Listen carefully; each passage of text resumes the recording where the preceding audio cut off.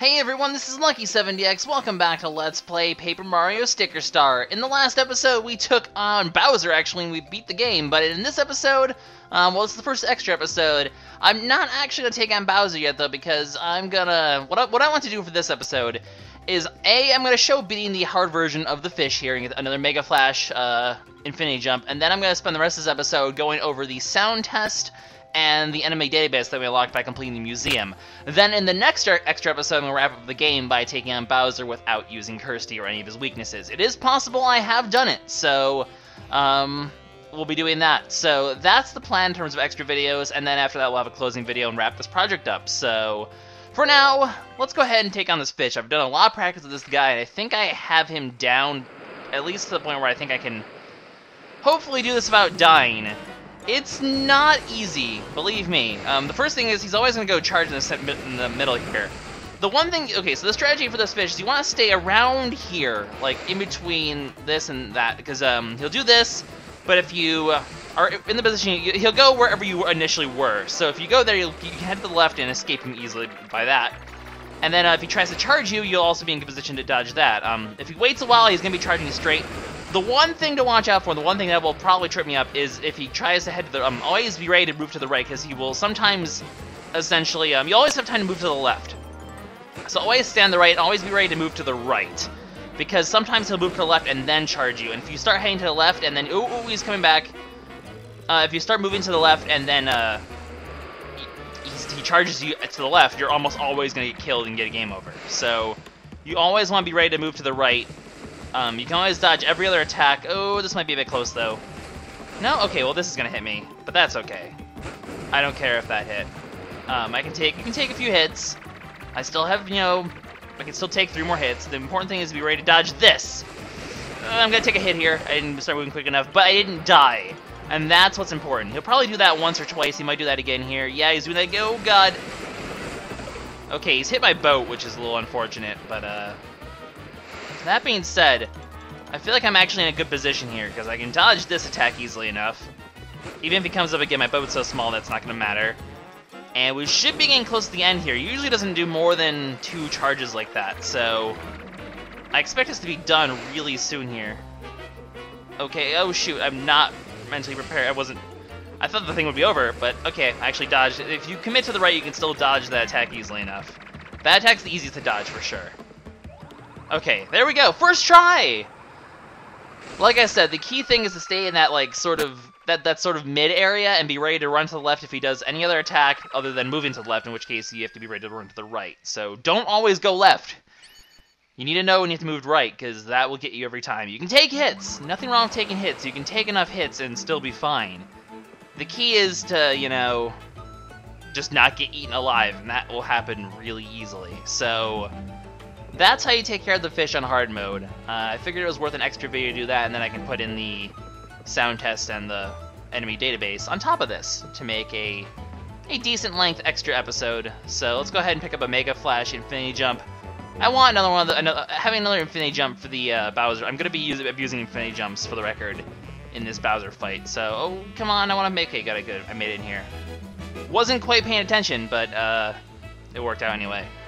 So in case, just uh, just as a refresher, if you want infinity jumps for the Bowser fight, the Mega Flash one can be found back here. So we'll grab that. Mmm, that Mega Flash. Mmm. And uh, we can go ahead and do the sound test and the enemy thing, like I said. And then, I'm really excited to show off Bowser though. That's gonna be a good extra video, I'm telling you guys right now. It's an intense fight, and there I have a trick, I have I have my methods to get past it. It's not easy, but it's doable, and it's really fun. So I'm looking forward to it immensely. Anyway, um, it, it definitely takes like you know using the maximum amount of. You really need to know how to how to abuse this game to do Bowser without doing that. It is doable though. You just really have to abuse the system, and I will show you guys exactly how to abuse the system next episode. For now though, we do boring sound test and enemy database stuff. I try not to cough out a lung because I still have con cold. Because uh, it's, it's been a couple weeks since Magfest, actually. But um, I've just... You get that cold and you get that cough that just doesn't go away. Like, you don't notice it until you try to talk for, like, YouTube for a long time. And then you're like, oh my god, I want to hack out a lung. Those of you who were at my stream a while, a little while ago, the, the past one, probably noticed me almost cough out a lung. It's nasty. Anyway, let's, uh, so we can go ahead and just check out the different songs in the game. You got your Detective Mario. It, it's a very odd selection of sounds because it doesn't have a lot of the good ones. Like, it doesn't have any of the battle themes. It just has these, like, sort of weird themes like this one. It's a thing. Um, I guess I should try to talk, though, because, you know, Nintendo copyright, blah, blah, blah, so as long as I'm talking, they can't really catch it. But they have this sort of rampaging uh, music, like, when bad stuff is happening. So they have that one, too. We have Kersti the sticker. I guess this one only shows up when you first meet Kersti, because I can't remember ever hearing this. But, uh, I mean, the soundtrack is really good, just you just miss out a lot. I hope they at least have, like, they should still have the snow theme, I would think. I would hope they would. I mean, they have the very basic Paper Mario stuff. This is the, you know, the, the basic level sound. We have the, uh, the Goomba invasion when the Goombas are trying to fight us. I mean, this it's, there are a lot of different tracks in this game, that's for sure. They certainly is a thing. We have the Bowser Jr. theme.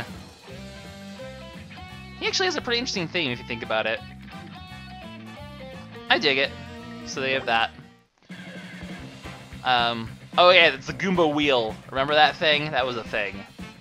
Yeah. So they, they like they have all these specific enemy soundtracks, but they don't really have like the battle soundtracks, which is weird. We have the fight right before you know all the big bosses. The uh, intense lead up to the boss music, which isn't here because, like I said, they don't have the the good boss music for some reason. We do have the, the desert a thousand miles away on a magic carpet ride. Agrabah. We have the uh, paratroopers that invaded from above on the pyramid. So yeah, like I said, they have these weird ones, but they don't have boss themes as far as I'm aware. They do have the Kamek theme though, and the Kamek theme is wonderful. I love the Kamek theme. It's as whiny and obnoxious as he is. It's very fitting. Like I said, the soundtrack is definitely one of the highest points of this game. The soundtrack of this game is really good. I love the soundtrack. It's just a lot of other things that fall flat, and we'll have a another nice big discussion about that in the closing video, I'm sure. So, uh, the Poison Woods, we've, we've certainly heard this theme enough. We were we were had a lot of levels in that area, that's for sure. The world 3 is pretty lengthy. Not a terrible world though, just eh. And we have Angry Wiggler! Yeah, the soundtrack is just, I, like I said, I want you guys to listen to it, but due to copyright things, I kind of want to start being able to talk over the music because it minimizes chances of that happening, and Nintendo's kind of unfortunately a little bit crazy about that. Love you, Nintendo, but seriously. Um, the Wiggly music's awesome. Oh, I accidentally pressed A. The Wiggly music's awesome, though. As like I said, I can't even go back because the sound test is screwed. How can you screw up a sound test, by the way? I can't even go back and show that again because a back button was apparently not something I thought about you needed in a sound test, and I can't even, like, like, like I said, if I leave my chair and I sit back down, it just stays in the song. It's not a very good sound test by any means. They have this song, that's kind of cool. Is it gonna do like the full like blooper theme at some point though? I don't think so. It's kind of like the intro to the theme though. It's very interesting. You know, I mean, a lot of these themes you don't get to hear very often, so it's cool that you get to hear them again. Just, I want to hear the freaking Gooper Blooper theme. That thing's awesome. That's like the best soundtrack in the game. But no, unfortunately not. We get the the giant fish attack. We get that instead. That's cool and all. We do get this. We get the Birdo theme. Like I said, it's all the really really niche themes, but I, I don't know. I just I don't understand why they did this sound test the way they did. The menu is really sloppy. The soundtrack selection isn't even fully there, as far as I'm aware. I'm pretty sure I've seen everything, so... At the Enigma Mansion, we've certainly heard enough of this in the hour-long episode it took to do this level. Jeez. Oh, we do get this song, though. Makes you realize there's a lot of interesting, you know, unique fights that happen throughout this game. It's kind of cool how they do this. I sort of dance in my chair while I record now, because this song is groovy! Is groovy as hell, yo! Dance to that beat. Mmm. Anyway. We do have this remix, which is always good. Da da da da da da da da da da da. You gotta love this song. It's so classic. So classic. So is this one. Very classic remixes. Gotta love Super Mario 64. So we have the jungle. Um, we've certainly heard this theme plenty of times as well. So there's that. Well, we just heard this song like two seconds ago, so nuts to that. Um, the really cool Runes theme. The Runes theme is so awesome. I love it. It's such a good theme. And of course we have the mountain theme. Good old volcano. World 5 was really cool. I do love World 5. World 4 and World 5. Did we had... Did it not have the snow music? Like the really happy snow music? I don't think it did. How could it not have the happiest song in the... this sound test is weird. Another sort of remix sort of song. Kind of. Kind of. This one's certainly a classic. Gotta love the airship theme. It's so good. Is so good. Anyway, then you even get the uh, the Bowser theme, which is why I didn't show this right when I got it, because I didn't want to spoil Bowser. That's that's why I did that. But uh, yeah, when he shows up, and then it's done. It cycles through, and you don't even get the battle themes, right? Nope. So no battle themes. I'm pretty sure it didn't have the snow theme. I'd cycle through and check, but you guys, you guys will be able to see if uh, they had it or not, and if I'm just forgetting it or not. I would have said something about it though. I can't. That's my favorite song in the game. So did they just leave that out random? I don't. I don't. I don't understand. Anyway, now for the enemy gallery, which is weird because you have to pay for it. And then you get to sort of oh, it doesn't. Wow, it, it's still. It, it, this is back from the ones that we uh left it at back when I saved. So we don't even get the full gallery. I, the save reset the game and it's still just showing off this one. So we missed the Goombas and all that, but we can see that previous episode. So we'll go through the rest of the gallery now, see what else they have in here. We got the Poke Bros. Oh man, they just like to attack, and you get to see their crumple status and their dizzy status too. I believe um, you get to see all those statuses, I guess. So uh, I don't know. It's it's an interesting enemy gallery, but once again, terrible options because you can't cycle through it, and heck, you have to go through the whole thing just to get back to the beginning which is just silly. Paragoombas are here though, so that's cool. Um, yeah, these guys! I love these guys. They're pretty awesome. They like to throw their hats at us. We got our dizzy statuses as well and stuff like that. Nah, they just off their their joint attack, I guess. Whatever. Hey, it's a... That's right, you have a time limit on this... What bright ideas? Oh, we're gonna make an element enemy gallery that you have to pay for, and that you have a time limit to view.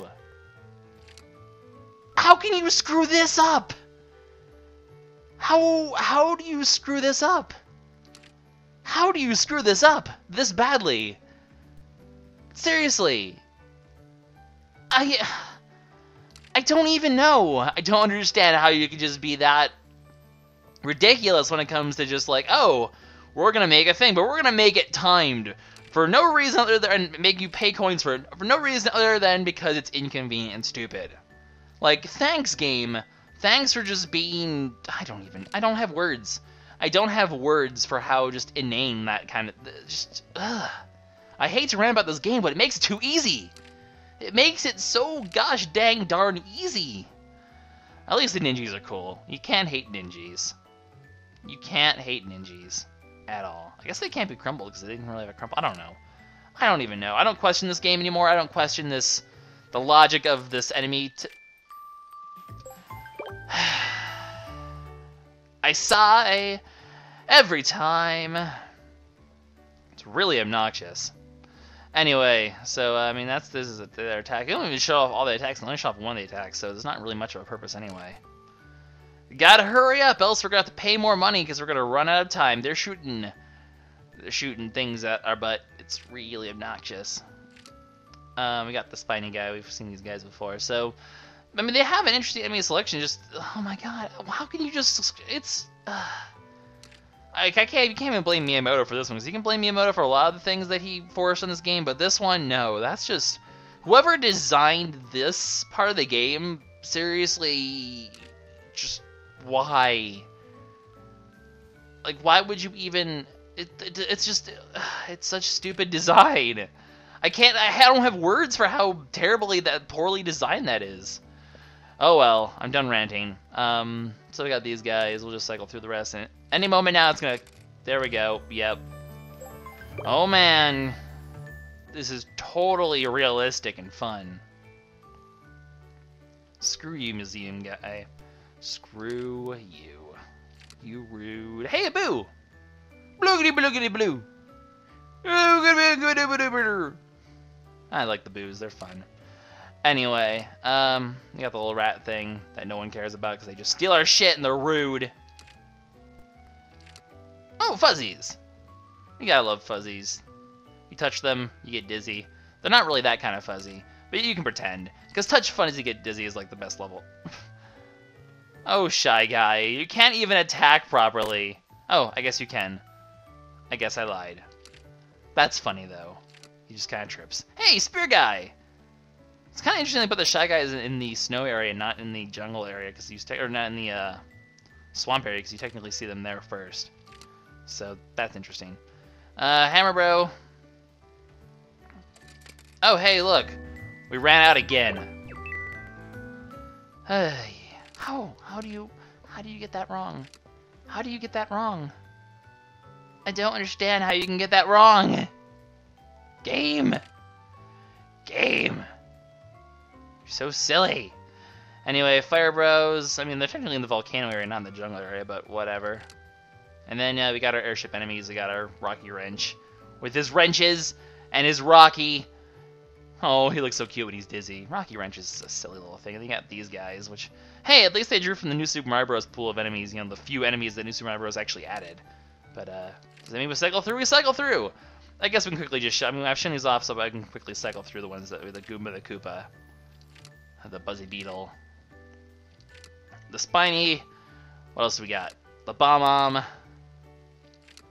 and then we're back to start here. So that's the enemy test and the sound test. Super poorly implemented, but they're there at least and unlockable in a very, I don't know, I just, don't question this game, guys. It's just, it's, it's a strange little thing that they made.